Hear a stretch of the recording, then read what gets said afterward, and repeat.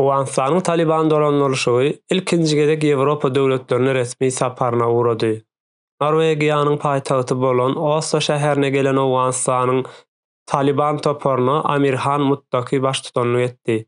Üç günlük resmi sapary bilen gelen Owganystanyň Talyban topary bu ýerde Birleşen Milletler Guramasynyň, şeýle hem Ýewropa Bileleşiginiň we arap döwletleriniň wekilleri bilen özara gepleşik geçirdiler.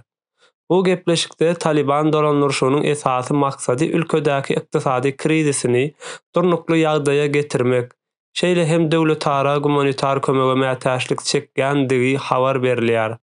Owganystanyň Talyban dolandyrylyşygy bu maksat bilen geçen günlerde Russiýa, Eýrana, Katara, Pakistana, Hytaýa şeýle hem Türkmenistana resmi sapara gelenligi görkezilýär.